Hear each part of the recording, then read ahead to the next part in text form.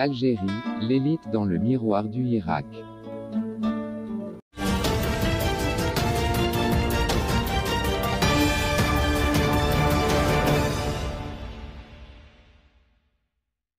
Je ressusciterai tant que tu n'auras pas appris à vivre sans maître, je mourrai le jour où tu passeras de l'humiliation de servir à la grâce d'exister. Le professeur Chomseddine Chitour, s'exprimant sur les ondes d'un média public, a déclamé en son âme et conscience que la feuille de route imposée par l'état-major, c'est la voie possible. La réponse de mon ami Kader Arfouche, scientifique et chercheur de renommée internationale, militant sur les premières lignes du Irak, fut sans concession, c'est la course à la brosse, ça se bouscule devant le portillon. Autant le peuple du Irak est noble et fier, autant ses larves sont viles et veulent. La révolution triomphera. Il se revendiquera d'elle et plus que tous, c'est l'essence même de l'opportunisme.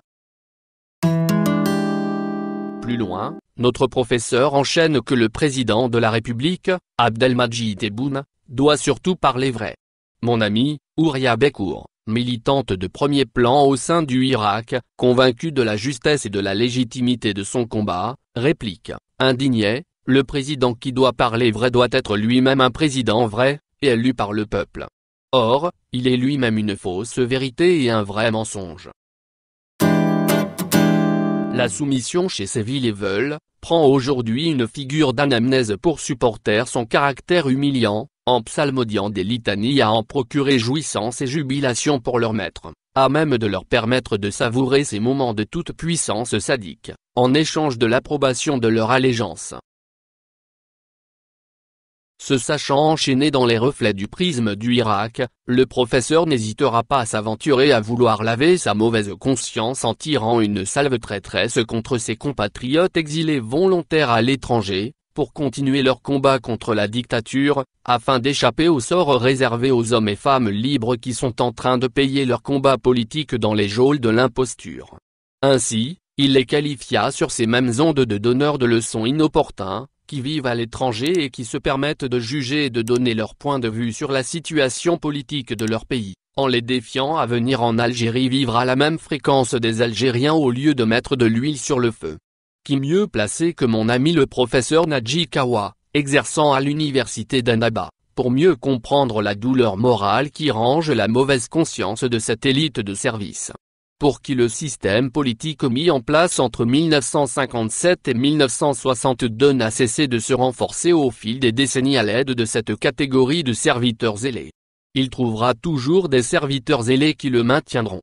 Aujourd'hui, sous prétexte de libéralisme économique, ce système offre la meilleure garantie aux puissances extérieures, la France, l'Union européenne, les États-Unis, la Russie, la Chine, etc., pour leur partage du marché civil et militaire en Algérie.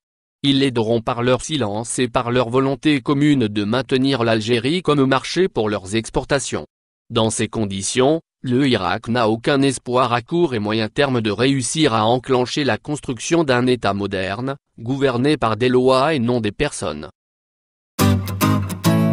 Ce pessimisme de notre ami de l'université d'Annaba nous renseigne sur les capacités de nuisance de ses serviteurs zélés et leur rôle dans la régression qui affecte notre société et qui l'empêche de devenir une nation moderne, développée, libre et prospère. Car ce genre de parasite agit au cœur même des institutions et particulièrement à l'université. Ces convictions ne sont pas déduites d'un vécu aux portes des fréquences de l'opportunisme, mais bien de celles dans lesquelles bat le cœur de notre nation et celui de son devenir.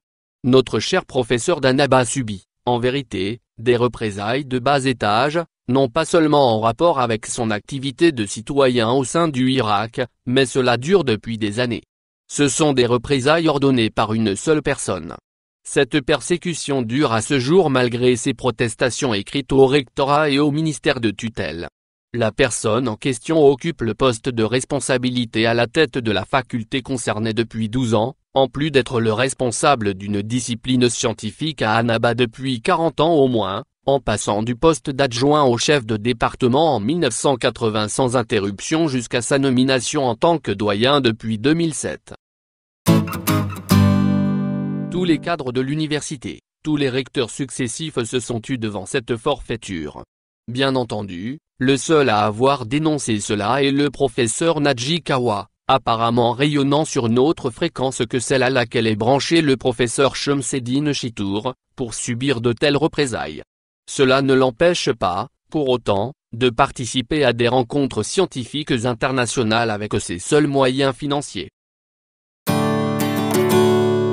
Certainement, ceux qui se sont exilés sous d'autres fréquences, intérieures ou extérieures de la terre patrie, par amour de leur peuple pour le servir, sont tout le contraire de ce que voudrait nous faire croire le professeur Shumseddin Chitour, et ne voudraient en aucun cas se mêler à ces hordes de mercenaires au service de ce système castrateur de l'émergence d'une nation algérienne à la dimension de son histoire et de la valeur patriotique des hommes et des femmes qui lui ont permis de ressusciter des geôles de l'histoire.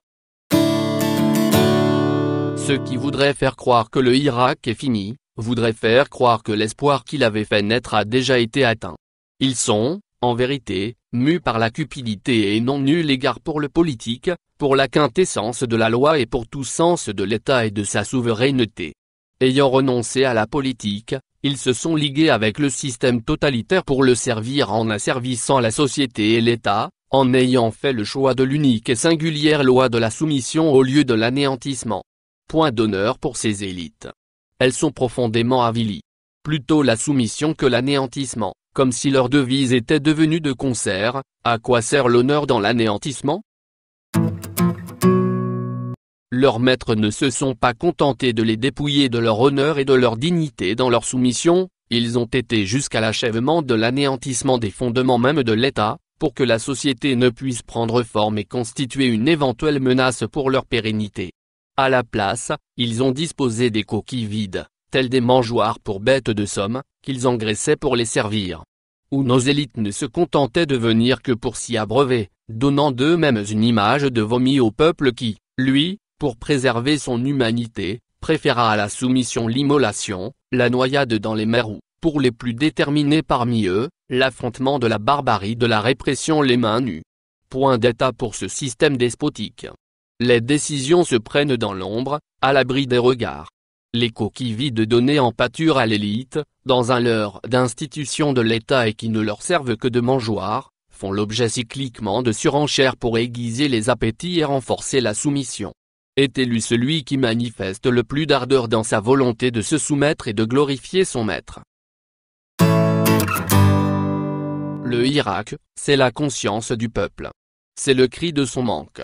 Il ne peut cautionner vos kermesses électorales de dupes. Il réalisera son état sur vos esprits calcinés par la lâcheté et le mensonge, à main nue. Il restituera le débat civilisé à nos assemblées. Il rendra son droit à la justice.